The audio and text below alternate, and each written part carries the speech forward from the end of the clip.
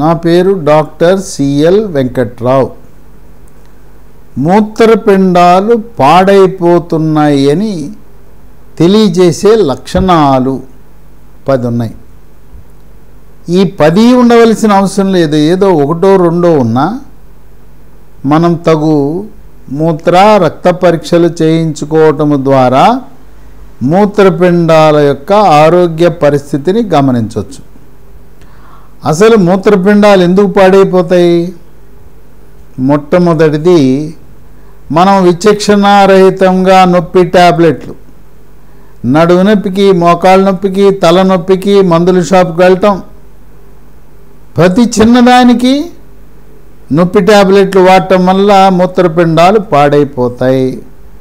తలనొప్పి వస్తే అమృతాంజనమో జండు బామో విక్సో రాసుకోవాలి కానీ దానికి కూడా ట్యాబ్లెట్లు వాడటం. ఏదో ఐదో రో ఐదు రోజులు పది రోజుల్లో నొప్పి ట్యాబ్లెట్లు వాడితే పర్వాలేదు కానీ నెలల తరబడి సంవత్సరాల తరబడి మోకాళ్ళ నొప్పులకు నడువు నొప్పులకు ఈ నొప్పి ట్యాబ్లెట్లు పెయిన్ కిల్లర్లు వాడితే మూత్రపిండాలు పాడైపోతాయి. అలాగే కొన్ని రకాల మందులు వాడకము. ఇవి మూత్రపిండాలను పాడు చేసే యాంటీబయాటిక్ మందులు ఉన్నాయి ఆ యాంటీబయాటిక్ మందు చివరిలో పేరులో మైసిన్ అని వస్తుంది. ఆ మైసిన్ అంటే జంటా మైసిన్ నెట్రోమైసిన్ అమికాసిన్.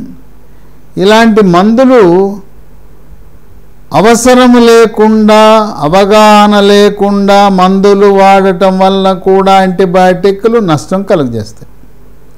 రెండు షుగర్ ఉన్న వాళ్ళకు కూడా ఎంతో కొంత మూత్రపిండాలు మందకొడిగా పనిచేయటం అనేది సహజం. దీన్ని వైద్య పరిభాషలో డయాబెటిక్ నెఫ్రోపతి అంటారు. ఇలాంటి వారికి షుగరు నియంత్రణ బాగా జరగటం వల్ల ఆహార నియమాలు పాటించటం వల్ల మూత్రపిండాల యొక్క డ్యామేజ్ని తగ్గించవచ్చు.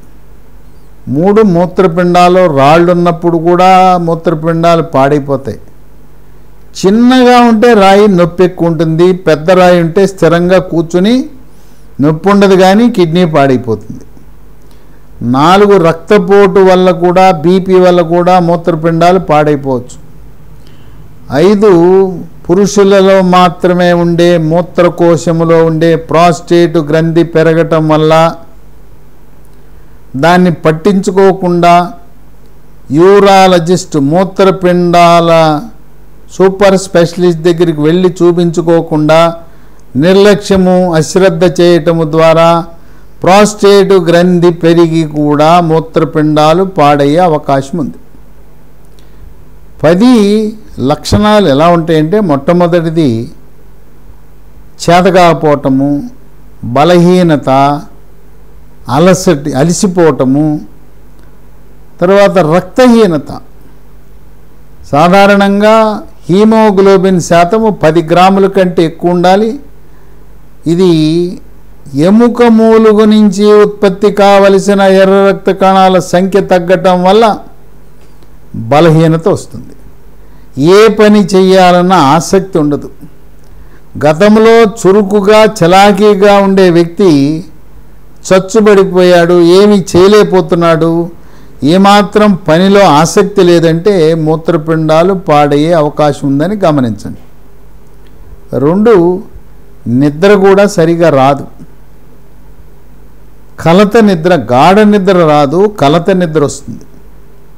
ఇక మూడు ఆకలి నశించిపోతుంది. వికారము వాంతి వీటితో పాటు ఎక్కిళ్ళు కూడా వస్తాయి. ఎక్కిళ్ళు ఒక రోజు రెండు రోజులు వస్తే ఎక్కిళ్ళు సాధారణంగా ఎక్కిళ్ళు వస్తే ఒక గ్లాసులో మంచినీళ్ళు పోసుకుని కొద్ది కొద్దిగా తాగితే ఆ ఎక్కిళ్ళు పోతాయి. తాత్కాలికంగా ఒక రోజు రెండు రోజులు ఉండే ఎక్కిళ్ళు ఒక ట్యాబ్లెట్ ఉంది అది వేసుకుంటే తగ్గిపోతుంది. దాని పేరు లియోఫెన్ ఎల్ఐఓఎఫ్ఈఎన్ లియోఫెన్. పది మిల్లీగ్రాములు ఇరవై ఐదు మిల్లీగ్రాములు కూడా అందుబాటులో ఉంటాయి. రోజుకు మూడు ట్యాబ్లెట్లు వాడితే ఆరోగ్యవంతులకు వచ్చిన ఎక్కిళ్ళు తగ్గుతాయి. వారం పది రోజులు ఎక్కువ రోజులు ఎక్కిళ్ళు ఉన్నాయంటే మూత్రపిండాలు పాడైపోయిందని అనుమానం కలగాలి. నాలుగు ఆయాసం. ఏ చిన్న పని చేద్దామన్నా అలసట ఆయాసం. ఇది కూడా రక్త కణాలలో హీమోగ్లోబిన్ శాతం తగ్గటము ఎర్ర రక్త కణాల సంఖ్య తగ్గటం వల్ల జరుగుతుంది. ఇక ఐదు కొంచెం అయోమయంగా ఉంటారు. తర్వాత సమయస్ఫూర్తి లోపిస్తుంది. ఒక ఉదాహరణ ఇవ్వాలంటే ఈ కిడ్నీలు పాడైపోతూ ఉన్న బ్యాంకులో క్యాషియర్ ఉంటే ఆయనకి మనం వంద రూపాయలు ఇస్తే మనం ఆయనకి ఇవ్వాల్సింది యాభై. వంద రూపాయలు నోటు ఇచ్చాం దాన్ని ఆయన అయోమయానికి గురై మనం ఇచ్చిన వంద రూపాయల నోటుని ఐదు వందల నోటుగా పరిగణించి మనకి తిరిగి నాలుగు వందల యాభై రూపాయలు ఇస్తాడు. వందని ఐదు వందలు అనుకున్నాడు. మరి నిజాయితీ పరులైన కస్టమర్లు ఉంటే అయ్యా నాకు ఇవ్వాల్సింది యాభైయే నాలుగు వందల యాభై కాదు అని చెప్తారు. ఇక కొంతమంది ఏ విలువలకి ఏమున్నదిలే అని జేబులో పెట్టుకుని నాలుగు వందల యాభై రూపాయలు వెళ్ళిపోతే ఆ క్యాషియర్కి ఆ రోజున నాలుగు వందల రూపాయల నష్టం జరుగుతుంది. ఇక ఆరు తరచుగా మూత్ర విసర్జన. గంట గంటకి మూత్ర విసర్జన జరగటం కూడా అది ఆరోగ్యకరం కాదు మూత్రపిండాలు పాడైనప్పుడు అలా జరుగుతుంది. ఏడు పిక్కల నొప్పులు. పిక్కల నొప్పులు కండరాల నొప్పులు. ఒక పక్క కానీ రెండు పక్కల కానీ పగలపూట కానీ రాత్రిపూట కానీ ఇది కాల్షియం లోపించడం వల్ల అలా జరుగుతూ ఉంటుంది. ఏడు ఈ ఎనిమిది ఉదయం నిద్ర లేవగానే ముఖం ఉబ్బరంగా కంటి కింద రెప్ప కింద ఉబ్బరంగా ఉంటుంది. బ్యాగీ ఐస్ అంటారు. ముఖం ఉబ్బరంగా ఉంటుంది. ఈ ముఖం ఉబ్బరంగా ఉన్నది అంటే మూత్రపిండాల సమస్య ఏదైనా ఉన్నదా అని అనుమానం కలగాలి. దీంతో ప్రారంభమే ముఖం ఉబ్బరం వల్ల పోయి పాదాల వాపు కాళ్ళ వాపు చీలమండల దగ్గర వాపు. ఆ చీలమండల దగ్గర వాపు వచ్చినప్పుడు బొటన వేలుతో నొక్కితే అక్కడ గుంట పడుతుంది. క్రమేణా చేతులకు కూడా వాపు వస్తుంది. పొట్టలో కూడా నీరు చేరుతుంది.